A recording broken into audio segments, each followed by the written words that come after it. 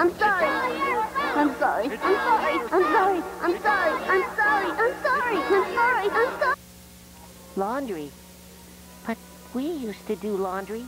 And, uh, SpongeBob, could we borrow some soap? Soap? But we used to use soap. Do you want fresh scent or heavy? Here it comes.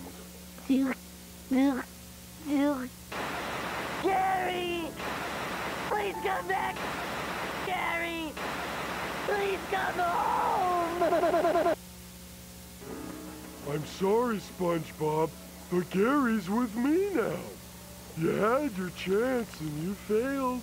You have to stop living in the past.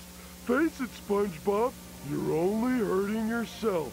It's what Gary wants, and what Gary wants is me. Right?